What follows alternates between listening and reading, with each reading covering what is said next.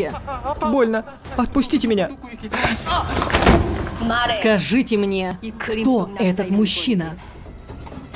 Я не знаю. Вы видели в этой картине духа, не так ли? Нет. Хотите, что?